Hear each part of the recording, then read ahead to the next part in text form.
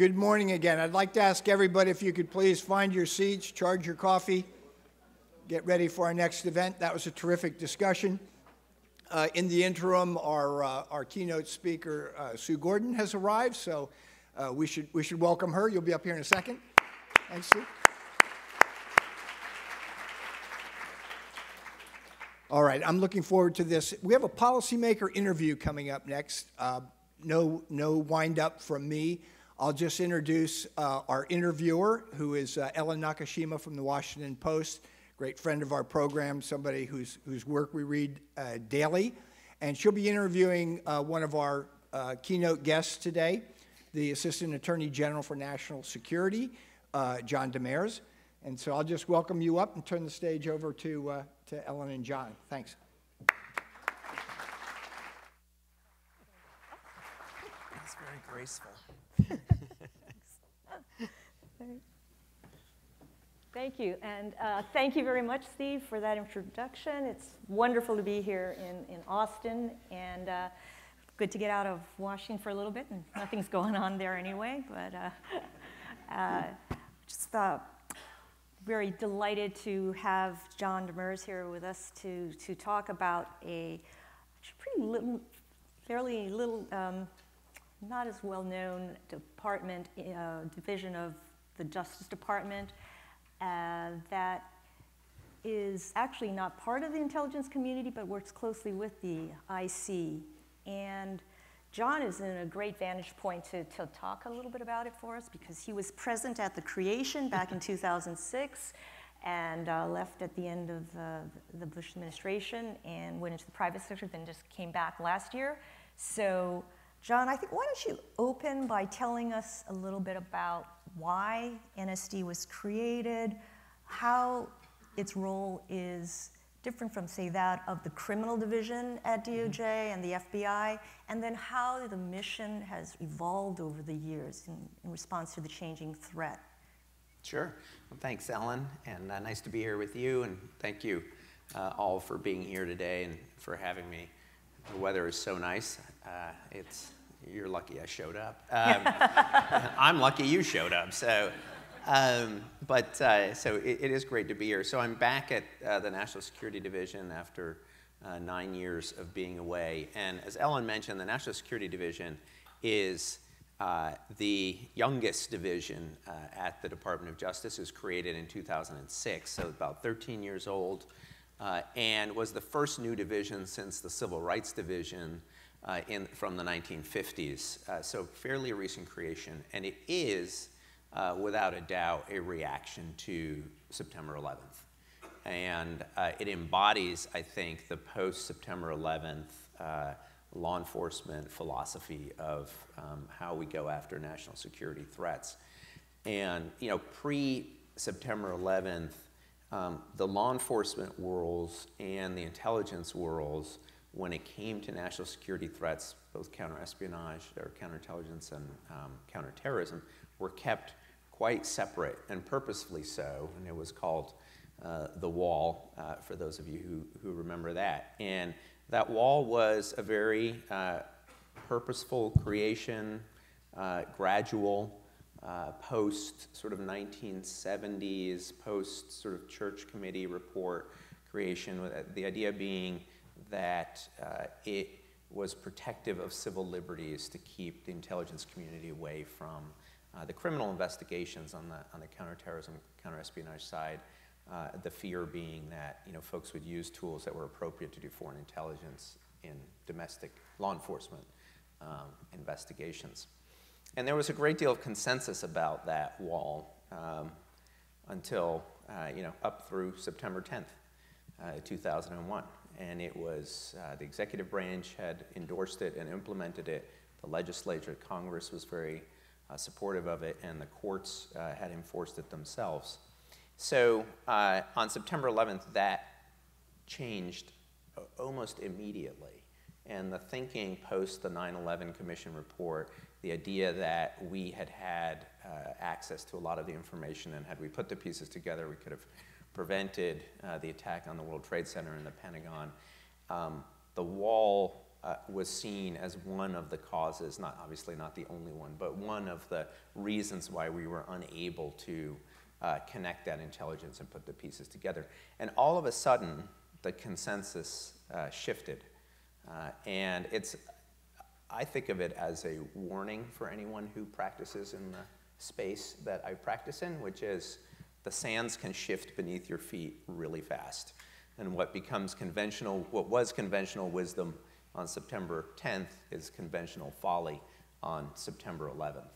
Uh, and, but it, it's also, I think, a warning because we should always be rethinking um, the assumptions on which we're operating and seeing whether they uh, truly make sense. So, what, what they did, so that you know these parts of the department that had been very jealously kept apart, um, the counterterrorism prosecutors, the counterespionage prosecutors in the criminal division, and the Office of Intelligence Policy of, Re- of Review, which does all of the Foreign Intelligence Surveillance Act warrants in um, the in the, the Deputy Attorney General's office, they brought them together and put them under one Assistant Attorney General. Um, and I was there at the beginning as a deputy for law and policy. And they also created this law and policy office because uh, the other thought um, was that when you have operational people doing policy, the operations swamp the policy, and the policy work just doesn't get done because the demands of the day-to-day -day investigation. So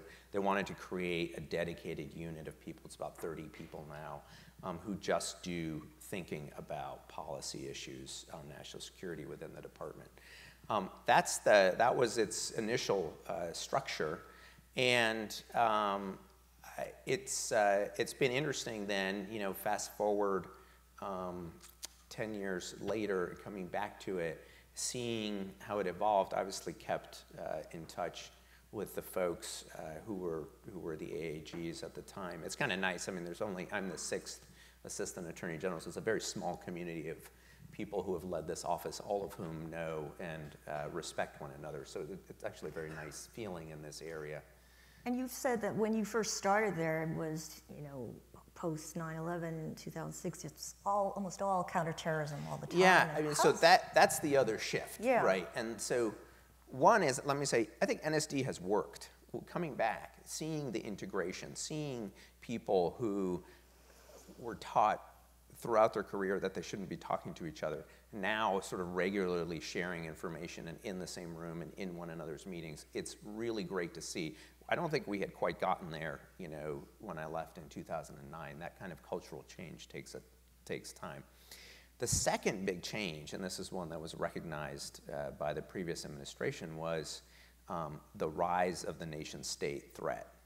Uh, and so when we were there in 2006, it was mainly counterterrorism that occupied the time of the leadership of the division.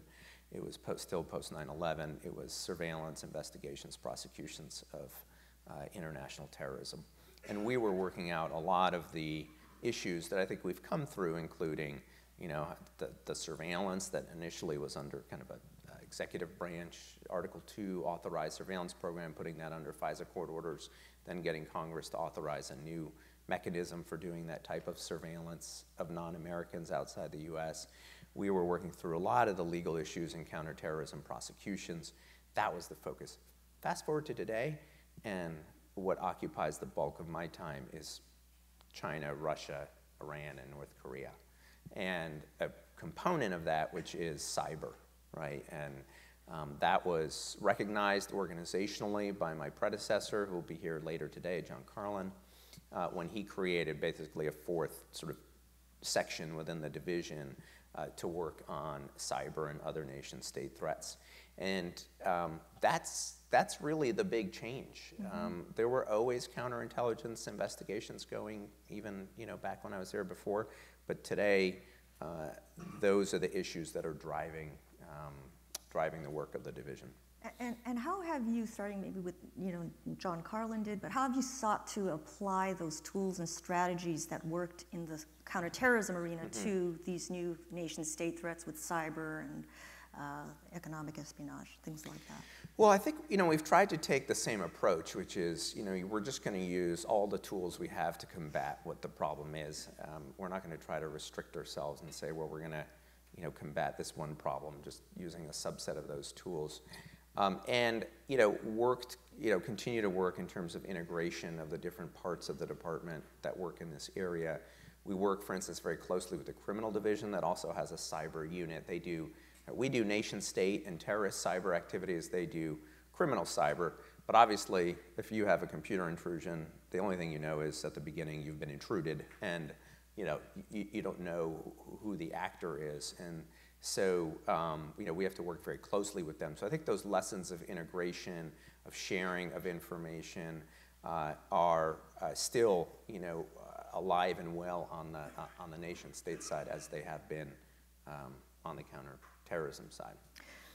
So nation state threats are now at the fore, China probably foremost among them. Uh, last fall, the Attorney General launched this initiative to really bring an enhanced focus uh, uh, to your prosecutorial and, and enforcement efforts on China. Tell us a little bit about what that effort has achieved and, and what are the tools you're using? How have they made any difference? Sure. So um, the China Initiative was really a recognition of uh, the need for us to be sure that we were focused on China, and in particular, from our vantage point, um, the problem of Chinese economic espionage. And so we have, now I have to say, the political espionage is alive and well as well, and we have three current uh, pending cases um, against, um, unfortunately, all sort of ex members of the intelligence community that were co opted by uh, the Chinese to uh, spy on their behalf. Um, and uh, it, it, but on the economic espionage side, what we found was that we were just doing more and more cases, and more than 90% of the cases uh, over the last kind of since the life of the, economic espionage statute um, involved the Chinese government as the actor behind them. So, and what we call economic espionage, basically the, the theft of trade secrets for on behalf of, for the benefit of uh, a state. Um, and 65% of our trade secrets cases, which are just cases among companies and individuals, also involved either Chinese companies or Chinese nationals. So uh, the thing about these cases is they are very complicated. They involve working very closely with the intelligence community. They involve protecting the equities of the intelligence community when you bring these cases. Uh, and so we wanted to be sure that, that they were adequately resourced and prioritized in the U.S. Attorney's offices around the country. Uh, and um, that the U.S. attorneys were educated both for themselves, but also to be uh, ambassadors along with the FBI to the private sector, uh, to academic communities, to ensure that um, the individuals in those communities understood the, the potential threat uh, to them. In terms of the impact, you know, we're, this is still what, month mm-hmm. six maybe, so right. you know, it, it's early. I think um, you know, we, we charged more cases last year than we have ever charged uh, in terms of economic espionage like in any given seven? year, about 12, yeah. Yeah. But you see, you, you hear that. These are not drug cases, right? I don't even know what the number of drug cases we charged last year. We, I didn't charge any, but the criminal division charged last year would be a ton, right? So, uh, but, but uh, these are very important cases. I think I give the example of one uh, to sort of try to illustrate what I think the, the benefits are of bringing our cases. Mm-hmm. These cases really build on, you know, the work um, in 2014, the, the, the, first charges against the Chinese PLA for commercial espionage. Um, and uh, that was kind of a seminal moment in this area, the thought that you would charge state actors uh, for commercial espionage. Those cases were against uh, military officers. Our more recent cases, I think, reflect the shift to the use of the Ministry of State Security, the MSS, the civilian intelligence agencies in China to do economic espionage. Um, and one of the amazing things, if, if you read our indictments on the political espionage side, and you read our indictments on the economic espionage side, and you read them like you would read a story, basically, to see how the intelligence officer from China has co opted on the one hand, an ex American intelligence officer, and on the other, say, an employee of, of an American company, you really um, come to appreciate how they're using the exact same tactics and techniques and tradecraft that they and we and others have honed for centuries to do state to state spycraft um, and trained it against uh, the private sector. But in one case, you know, in particular, so we have we charged at the uh, last fall this case involving Micron. Micron is an American company that makes computer memory chips. Uh, it has about 20 to 25 percent of the global market of uh, memory chips, and it found itself the target of intellectual property theft um, by a Chinese company. Uh, and it's a good illustration of both the, the top-down nature of um, what's happening in terms of mm-hmm. economic espionage in China, but also I think of how these Justice Department investigations and actions can help. So um, China being China and a very authoritarian country, the, the commercial espionage that takes place is not kind of sort of organic and, uh, you know, uh, coming up naturally from its various enterprises. It is really a top-down structure. You kind of start with the Made in China 2025 plan, which lays out 10 industrial areas in which the Chinese want to be, want to have sort of a dominant domestic manufacturing position. And these are very varied, everything from agriculture uh, to uh, composite materials to artificial intelligence technologies, um, to commercial airplanes, on and on, you know, high-speed rail. And, uh, and if you take our cases, you can map them against all of those priorities, right, pretty, pretty easily.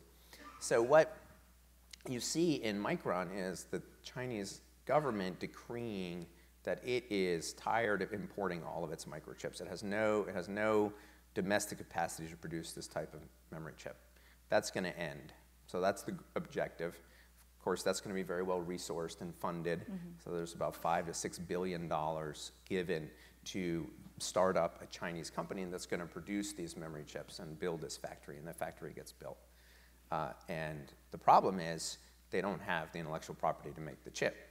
So the solution to that problem is, in this case, you know, go ultimately and enter into a JV with a, a company in Taiwan, and then have the company in Taiwan poach um, three individuals from the American company and poach them not in the way that any business person might say, hey, I really, Ellen's a very talented journalist. I'd love her to come to this other newspaper. It's like, what I really want are the Washington Post trade secrets. So Ellen, when you come, you bring, you download everything onto, uh, you know, a thumb drive and, and bring it over. Uh, otherwise, the job's not yours. So uh, poach these folks, and, and, and that was the plan.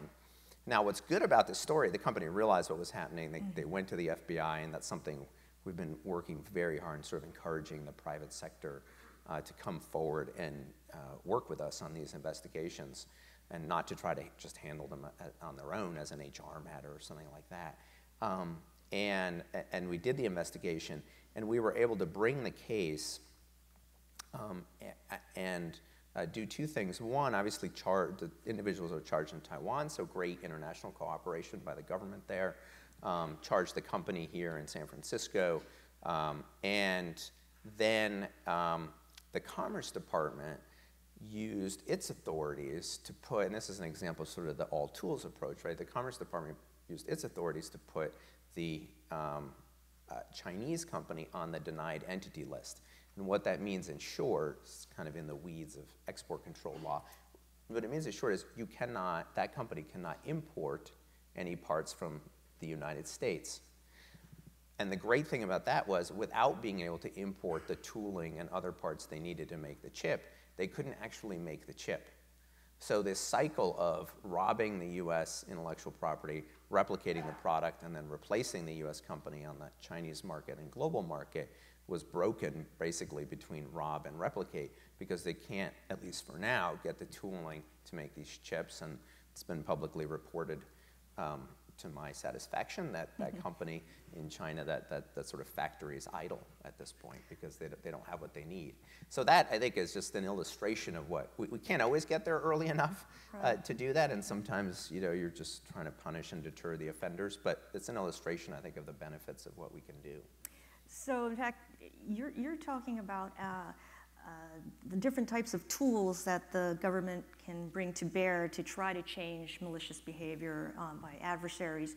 Uh, you mentioned the uh, seminal indictments in 2014 of the five PLA officers. I mean, you know, there was a lot of sort of criticism or skepticism back then of, okay, great, you, you, you indict them, but when are they ever going to see the inside of a courthouse, right? And in fact, they didn't. So do you think that in the end, indictments like those really are more of a naming and shaming or signaling effect uh, and, and have you know, less impact, especially if you're talking about intel agents in China who don't, aren't likely to travel outside. Mm-hmm. Do, that, do those have less sort of effect or impact at actually changing behavior than, say, economic sanctions or a commerce entity listing, uh, things that actually affect actual, you know, ability to do business mm-hmm. in the world economy. What do you think? So I think I think indictments have a number of different purposes. One is the classic sort of criminal justice purpose of deterrence, and let, we can come back to that mm-hmm. uh, in a second because I think the answer changes depending on who you're indicting. Um, the the second is a, an educational uh, purpose, and that is you know, we're having this conversation today because we brought these indictments, and I think we have been able to educate uh, companies, uh, uh, folks in academia, et cetera, because we can uh, show these. Once we do the indictments, they are not classified, they're all public, mm-hmm. so we can mm-hmm. talk about the facts, we can tell these stories, and people are much more moved by specific stories than they are by sort of, you know, me going up here and just telling you, Citing watch out statutes. for these seven things, and right. Uh, so I, I think education is another uh, great benefit they have. The, the third piece is that they um, enable uh, the use by other, uh, or the investigations that underlie the indictments enable the use by other agencies, whether it's Commerce or Treasury, to use their authorities. And so, so if you hadn't done that investigation, Commerce wouldn't have been able to do their their designations. They will do. I mean, they can do a separate investigation right? Okay. Um, and they will often, you know, uh, obviously do their own homework to make sure they're not just going to take what we say. They're going to review it all, and they'll, they'll do additional investigation. But we, we can work together on these things. And so I think we're really helpful to one another when we work together as a government. And it's going to take all of us working together as a government to try to solve this issue. So coming back to, to deterrence, um, I think, you know, it depends who you're indicting. I, I don't know how much of a shot we have at deterring a military officer or an intelligence officer of a foreign power uh, not to do her his job, right? I mean, they signed up for this life or they've been recruited into this life. This is their life, and they're going to do it, right? There are also other nation states that use contractors to do their work. Contractors are more easily deterred uh, because this might not be the last job they want to do, right? Mm-hmm. They might want to go to Europe and work at a company. They might want to go to the Middle East and work at a company. And once you've been indicted and you're out there and you're, you know, you, basically if you go to a company where we have an extradition treaty, you're going to get arrested and we're going to try to get you back. That happened. And we did that, yeah, this just this past fall. He was actually a Chinese intelligence officer who uh, had co-opted uh, the employee of an American company and then traveled to Belgium, and he was arrested in Belgium, and he's now um, in the Southern District of Ohio awaiting trial. So once in a while you can get somebody like that, but I think the other group of people, especially in these commercial espionage cases that aren't pure cyber, that a lot of them are insider threat cases or hybrid cases. So somebody has been co-opted in the company, somebody who's here has been co-opted. And those people, I think they can be deterred, at least as well as other criminals, right? Because they're here, they're within our jurisdiction, we can arrest them, um, and we can charge them, and, and uh, they become sort of a warning for other, for other folks who might be thinking of doing the same thing. So I think your level of sort of deterrence impact will depend on who your defendants are, but regardless, I think there are, are reasons to do these cases that uh, you know, go beyond deterrence as well. Um, what about working with other countries? Uh, last December, I guess, or last fall, uh, the, the US, the Dutch, and the British all called out Russia's GRU military spy mm-hmm. agency for uh, hacking the UN agency that investigates um, uh, chemical weapons attacks and, and that mm-hmm. hacked into Olympic athletes' drug testing data. Mm-hmm. And, uh, and then in December, you, you and about a dozen other countries mm-hmm. also uh, called out the Chinese MSS for its mm-hmm. hacks into various companies for IP theft and um, economic espionage, and you announced uh, indictments at the same time. Is there a conscious strategy to increase international coordination in this area? Um, do you see other states starting to issue their own indictments, or what, what's your strategy going forward here? I think there's, you know, in, just increasingly a recognition of the community uh, of interest that we have um, uh, with other nations. We're certainly not the only nation being uh, victimized by uh, whether it's intellectual property theft or the kind of hacking and, and dumping that the Russians were engaged in with respect to the World Anti-Doping Agency. Um, there, uh, many other countries have, have, gone through this as well and have seen what has happened in other countries, even if it hasn't come, happened at them. So uh, we do work. I mean, I think it's just a part of the work together that's done uh, by the intelligence communities of these different countries, by the law enforcement communities of these different countries. But you know, I, I think yes, there's some increased recognition that among the work that we're going to be doing together, this is going to be one of the threats that we're going to have to confront because it's not just a threat to the US or a threat to the UK or a threat to France or whoever. It really is a, a threat to all of us. And the tactics and techniques are um, very often the same. Now, what was amazing about that anti uh, dumping case was the anti doping case was um, that you know the, the, folks who were charged were not just sort of these remote computer hackers, but there are these teams of close access hackers that the Russians had sent um, to various countries to break in basically to the Wi-Fi of a hotel or an office building, et cetera, something they couldn't quite do remotely, but they could do if, you know, and when they finally caught them and um, their equipment was in a car parked outside the building that they were trying to hack into. So it was a great kind of spy story as well. Right, right. And talking about, you know, your speaking indictments, I mean, I think that was part of it, the value of the country and our citizens. And uh, that work is not over by any stretch, but uh, it's really helped. And you know, we need to apply that same approach, I think, on the on the cyber side as well. Can I, can I ask you a question about? Uh, you, you, mentioned that the impact of of indicting a, a, target or person depends on who you, you're indicting. And one of your most high-profile cases right now is uh, indictment of the uh, daughter of the founder of Huawei, the world's you know biggest telecommunications equipment manufacturer. She was the chief financial officer of Huawei, and uh, she's in Canada at the moment. Canada arrested her on, on a warrant from the U.S. and you know you're seeking extradition. What kind of tell me a little bit about the thinking behind charging, say, the executive of a, of a company like Huawei, which is a national champion for China, versus just charging the company itself. I mean, do you? It, it was certainly created a diplomatic incident, but do you you know, do you consider those ramifications when you're trying to figure out, decide who to charge? I mean, do you think maybe this might really get their attention and change, cause them to change behavior in some way? I mean, explain that. I mean, I really can't talk about that case given its status. Uh, oh well, in, in sort of, of litigation. A hypothetical uh, but I will telecommunications that, company, let's you know, say. we, we do, um, abstracting it even a little bit further sure, out. abstract uh, as far as you want.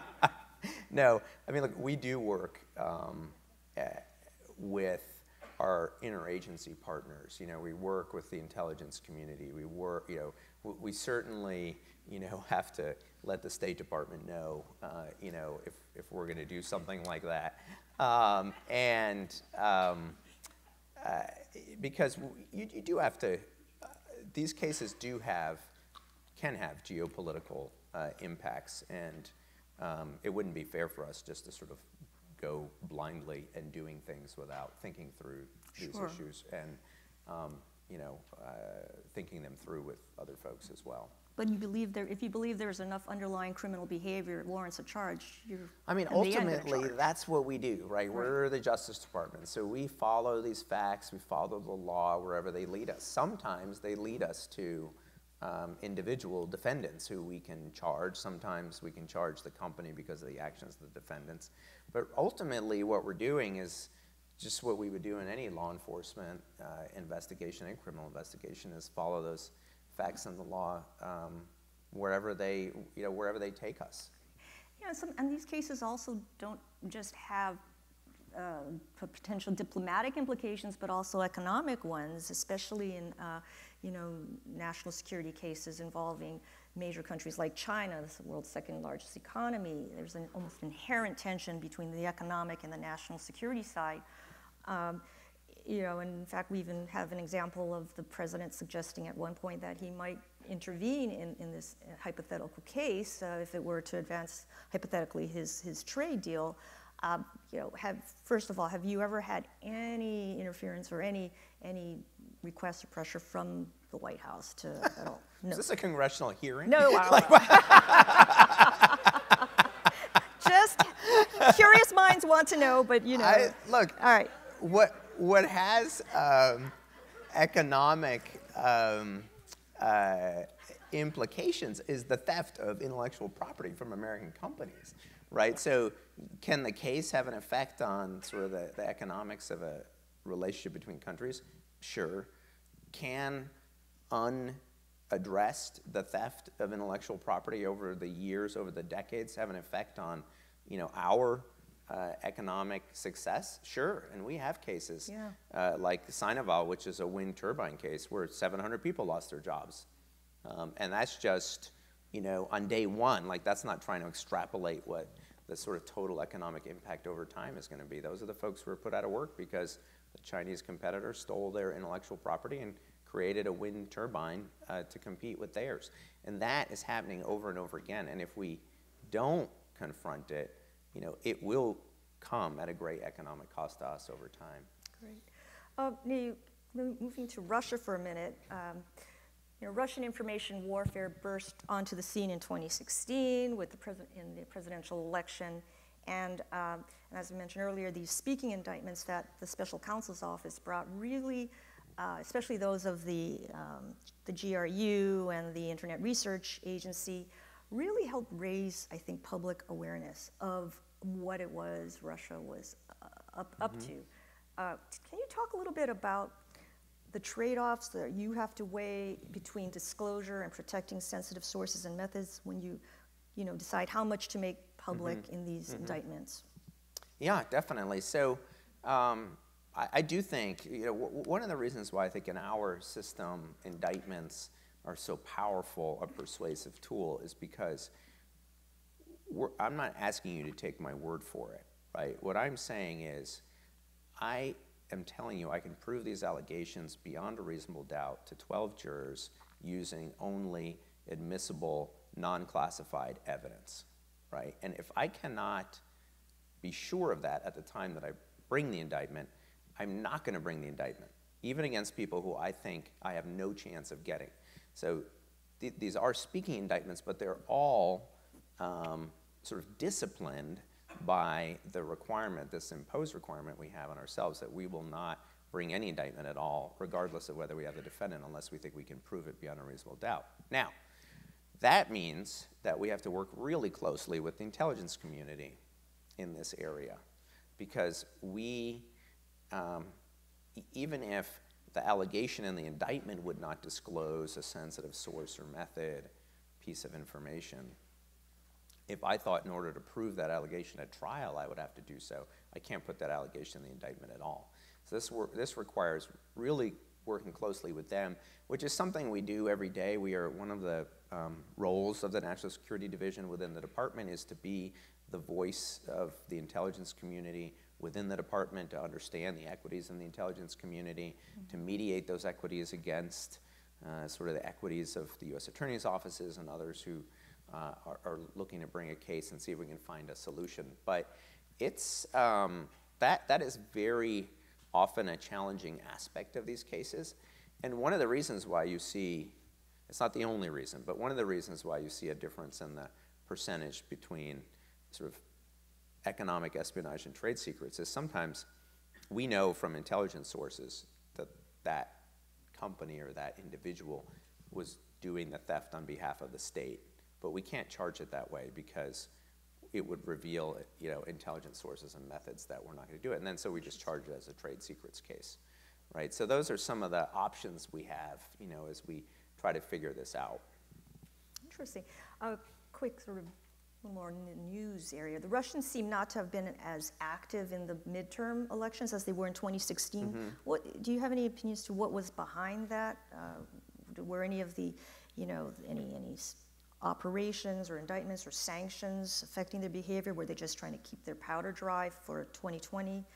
Um, and you know, are, what are you expecting for the next year's race? Is that I think um, I don't want to speculate too much. I mean, this is they certainly were not as active um, this past election as they were uh, in the previous one. I think DHS, the FBI, um, the intelligence community working together have made a lot of progress in this area of foreign election interference. I think the partnership between the law enforcement agencies and social media companies has gone a long way to the social media companies' decisions to remove uh, content uh, from their pages. That's like, you know, sweeping your front porch when it's dusty out. Like you just have to keep doing it. You'll never get it totally clean, but you will make a difference, right? Um, and uh, so I, I do think there were things that we did that uh, there was much more collaboration between DHS and the state election uh, officials, a lot of more information sharing than we had two years ago. And then I think that we as a public have become uh, better educated about that threat, about, uh, you know, in, in, in terms of our ability to assess um, and try to figure out um, when someone's saying something, who is that person? right? Who, who, who is, and being maybe a little more skeptical about it. Now, I don't know what that means for 2020. I mean, I, I uh, certainly don't think that they've just folded up their tents and gone away. Um, so I think they'll be back. But I do think there's a lot of good work that was done in the last two years, and that will continue to be done over the next two years. That I think will position us in a in a much better place than we were, you know, two and a half years ago. And last summer, uh, Deputy Attorney General Rod Rosenstein announced a new policy. He was at Aspen, where he, he said if you, with high, fairly high confidence, detect foreign interference or meddling in democracy, you will uh, inform you know the public about it. Right. Um, what's the you know what's the significance of that, and what's the threshold for triggering that level you know of, of disclosure? Or, Yeah. So the significance of it is, I think, a recognition, and uh, for those of us in government, that we, you know, have to be a little bit more forward-leaning in what we're sharing about uh, foreign election interference or political influence, um, and that we, um, you know, we just we can't even in obviously sort of keep it to ourselves because we're still trying to figure it out.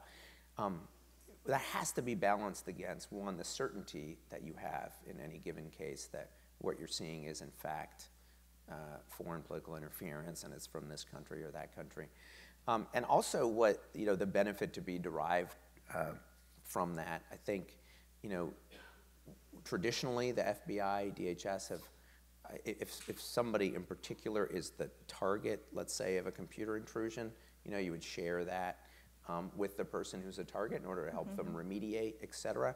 That's a piece of this policy.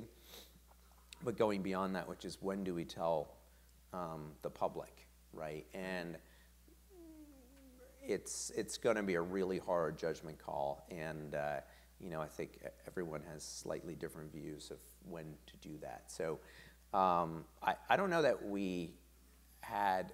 Uh, we, you know, we certainly sort of gamed out a lot of the had different hypos we were running through in the run up to the election and last summer and the fall, try to figure out, kind of have these conversations before they happen. I don't think we confronted our hardest scenarios last time, Okay. so we'll have to see. And uh, one area gaining prominence uh, in, in the public here, thanks to the Russia probe, is, is the area of counterintelligence. Um, and, and often the work that investigators like the FBI do uh, remains secret you know, for, for years. It doesn't because it doesn't lead to any charges or Right. anything. So how, how what is your role in that? When do you get involved, and uh, what role do you play? How, how do you help them decide whether or not to bring charges or just keep something secret? Tell me a little bit about that. Yeah, I mean, I think you know our main role is helping them to assess whether there are charges to be brought. Right. I, think ultimately the decision of whether to charge something or to keep the investigation running for counterintelligence purposes is one that's made by the FBI or by other elements of the intelligence community. Um, and our job is, I think, to tell them, hey, this other avenue could be available to you should you choose to go in that direction. That is prosecution. Um, we uh, are, you know, we, we don't really push prosecution. You know, I think it has to be one of the um, the options that um, the decision makers have. Uh, but ultimately, that decision of, you know, do you, do you go public and try to disrupt? Um, have you sort of got all the intelligence that you're going to get out of this operation? That's really an FBI uh, decision. But they consult you fairly early on? Yeah, so we okay. do work with them, right. you know, early on, uh, both because, um, you know, one, we, we want to be able to tell them what their other options are. And two, if we are going to go to prosecution, we want to make sure that we are gathering evidence in a way that will then create admissible evidence in court. Uh, and you know, if you're doing it just as an intelligence operation, you may be gathering evidence in a way that we, we couldn't disclose, at least not without risking sources and methods that wouldn't be worth uh, disclosing. Okay. And when we talk about uh, China, it's, it's not just the cyber-enabled economic espionage or uh, IP theft. Uh, increasingly, we're also hearing from the government the uh, foreign influence, a Chinese influence mm-hmm. Uh, issue. Um, Dennis Wilder talked a little bit earlier about not, mm-hmm. you know, going too far to the mm-hmm. other side and demonizing uh, you know, Chinese Americans. But talk a little bit about what you're seeing in, with China undertaking um, you know, recruitment activity or influence activity in the mm-hmm. U.S. and how are you trying to counter that? So um, it, it really runs the gamut, and I think look to Dennis's point of the three ex-intelligence officers who are charged right now with spying on behalf of China. Two of them you know, are not ethnically Chinese. They're not, you know, they are not sort of uh, Chinese at all. So it's not a problem of sort of Chinese Americans. It's a problem of, in those cases, intelligence officers that that uh, ultimately, sort of, at least, are alleged to have betrayed their country. Um, so uh, that, that's one aspect of the work we're doing. On the on the political influence side, that is still mainly um, a counterintelligence operation right now of you know looking at um, Chinese uh, behavior.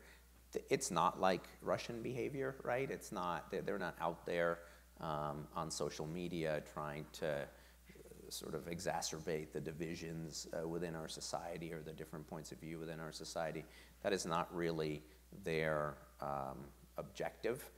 Uh, and what uh, you know, their objectives are uh, more to support their own policy preferences on a number of different issues. So if it's Taiwan, claims to the South China Seas, um, the Uyghurs, uh, Tibet, you know, the, just the, the, normal sort of catalog of Chinese policy influence, and, and they're able to sort of, um, their, their, ability to, um, uh, you know, project their power and their influence in areas that are uh, important to them. Um, some of it, I mean, I think the vice president talked about even just like, yeah, I mean, some of it seems like classic uh, uh, behavior, like, uh, well, we're going to put um, tariffs on goods that are, you know, of uh, importance to your constituents, right?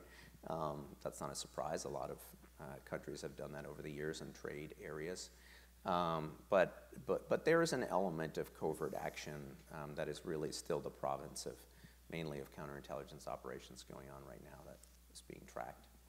And, and earlier this month, you announced a big shift in FARA enforcement, mm-hmm. FARA being the Foreign Agents Registration Act. Uh, and you know that it's the appointment of one of Mueller's uh, former prosecutors, Brandon Van Grack, who's going to head this new mm-hmm. unit. Uh, Yet already, you know, over the past few years, the, the unit had begun to become more aggressive about going after regis- unregistered foreign agents, uh, resulting in fact in prosecutions like uh, that of Gates and Manafort. So, how exactly will this more aggressive posture manifest itself, and where are we likely to see more registrations and enforcement efforts?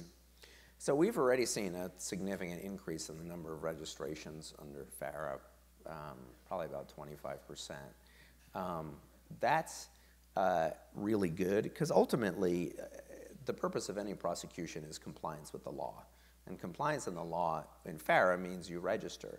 And really, the purpose of the law, and it's quite an elegant solution to what otherwise might be a thorny First Amendment problem, is saying, I'm not going to try to restrict anything that you're saying, but you have to tell me who you're saying it on behalf of, right? You can't pretend that, oh, this is John Demers, who used to be the AAG for National Security, and he's saying American policy should be X. Now, this is John Demers, who is the former AAG of National Security, who's saying American policy should be X, and I'm getting paid by this foreign principal, right? So, and that allows us uh, to assess for ourselves uh, the weight that should be given to anybody's statements. So, our goal is compliance with the law. And one of the tools I think that you know we've used more recently than we had in the past are uh, prosecutions to um, to, to enforce and to try to get that transparency, which is really ultimately what we're after.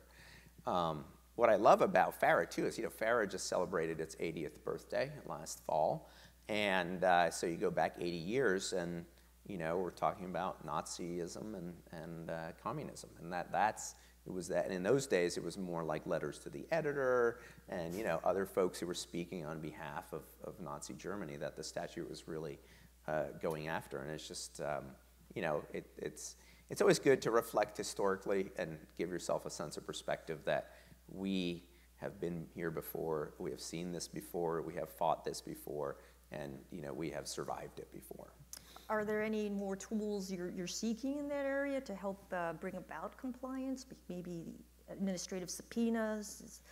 Is, that something you'd like to see happen? That's something we're definitely taking a look at, um, and there's some proposals on the Hill to provide um, administrative subpoena authority under FARA. I do think, you know, right now, the way these FARA investigations go, you see something in the newspaper, you read about something, et cetera, you approach the person, and it's, you know, it's more of a voluntary approach, um, and and, and they respond, obviously, and they have to respond truthfully. But um, I think subpoenas would give you a more fulsome uh, response. And what about civil fines? you think? Yeah, that, I mean, that could be an option too. I mean, right now, one of the, you know, you, you kind of have the, um, if, you know, you, you could charge someone criminally with a felony, um, and, but, you know, there may, there, the more gradations you have of tools, oftentimes the better you can sort of uh, pinpoint a tool at a certain set of facts. Uh, sh- And talking about sort of the role of your, uh, your division here, um, you know, Special Counsel Mueller's work is over, but tell us a little bit about your role uh, with, in overseeing his work, and now that it's over, how, what will your role be going forward as you know, Mueller's bequeathed a number of cases to other uh, U.S. attorneys' offices? What's, just what's your role in this? Yeah, so we, I mean, the, the special counsel's office was overseen by the deputy attorney general and then the attorney general, so not by us. Mm-hmm. Not you directly, but we you have- did send um, some attorneys over there, like Brandon is one of Mm-hmm. the folks you mentioned, others as well, to help um, provide resources for um, the work he was doing. And then, you know, there have been, as has been reported, a number of cases that have been spun out of the uh, work that he did. Uh, some of those, so take for instance the um, some of the, um, the Russia cases.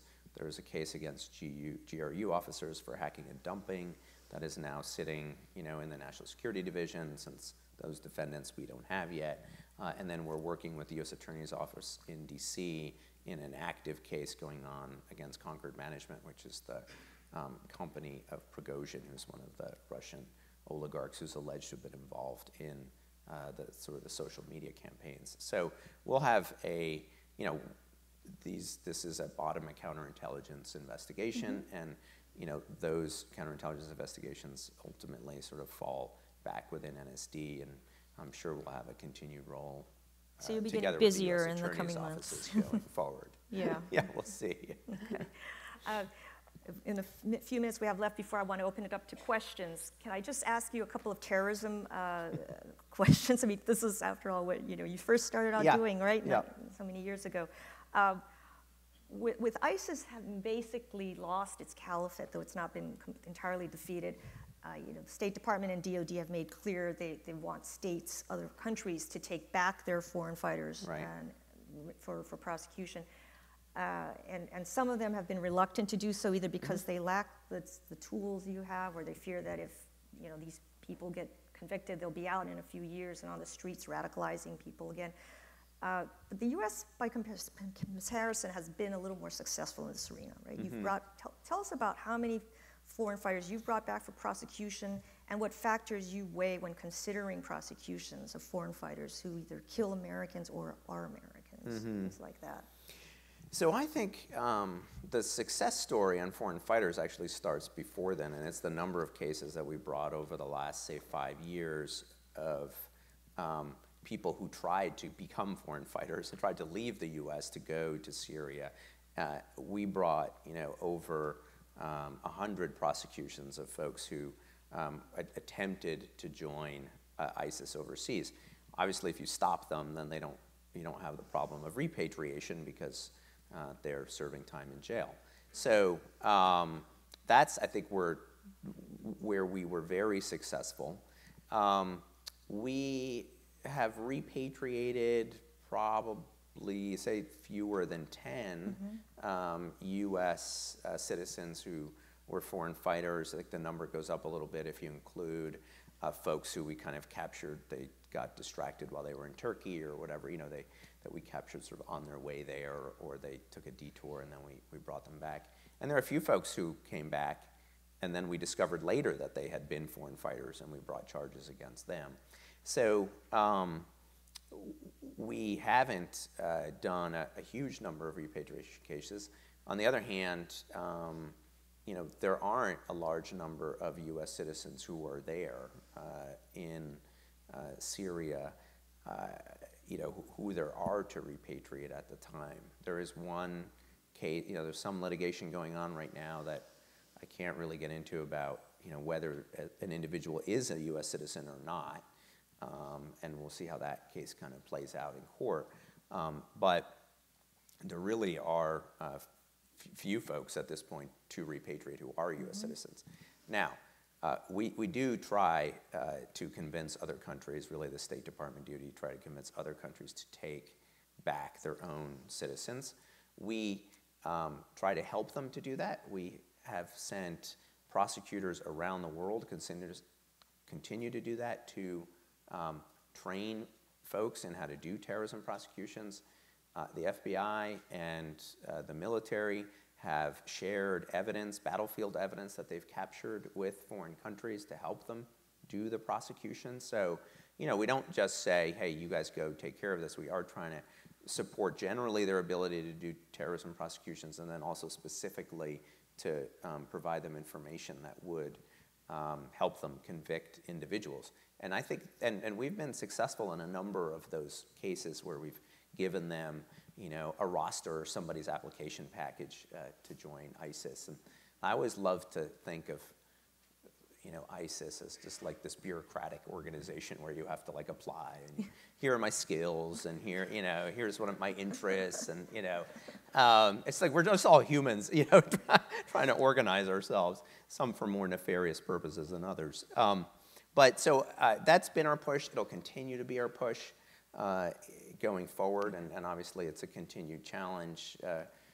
particularly depending on you know how long the Syrian Defense Forces will be able to hold on to the detainees that they've held on to so long. Thank you. Do we have time for a few questions? Just one or two quick ones. Okay, for the audience, all right. Is there a microphone?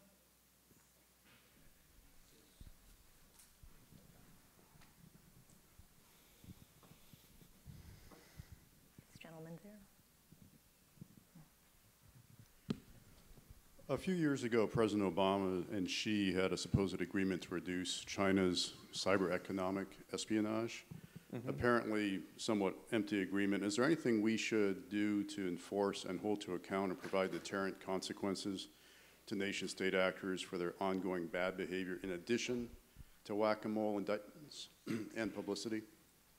So I think, um, sure. I mean, I do think that in that case, that indictment helped to put pressure uh, to reach that agreement, the sort of diplomatic agreement. I think it, you know, it certainly hasn't been an unalloyed uh, success. Um, uh, but the private folks in this area say that it did change some Chinese behavior for some period of time. I think that, you know, other very good tools, as I talked about, sort of the Commerce Department's denied entity listing. So if you see a Chinese company that's been the beneficiary of, um, uh, of intellectual property theft, kind of punishing them through either sort of Treasury Department sanctions or Commerce Department uh, listings, are also effective ways of trying to get at that problem. There's a, you know, as I said, this is going to take a long time. It'll require kind of whole of government approach and a, a sustained effort in this area. Just to follow up quickly on that, part of the reason I think Xi uh, came to the table in t- 2015 was the threat of economic sanctions that were going to be imposed by the U.S. on China. Uh, in the end, he came with this, you know, pledge not to conduct economic espionage, and in re- um, response, the U.S. did not impose those sanctions. But I think I've asked you this before. I mean, you know, do you think maybe it's time to rethink reimposing those sanctions or imposing those sanctions, or should we have in the first place? It, I mean, it's something that, you know, we think about. Um, you know, ultimately, that's, you know, those are Treasury Department sanctions, and really they're sort of best positioned to talk about how they think through those issues. Um, but it, it's a useful tool still to have out there. Of the suite of tools, is it, how do you rate it as the most impactful or potentially? Um, it's, uh, look, in the Micron case, nothing was more impactful than the Commerce Department's denied entity listing, right? So I think what's more impactful really depends in, in each case. Thanks. Okay, let's uh, thank John very much for this uh, Thank- thank great you. hour. Thank you.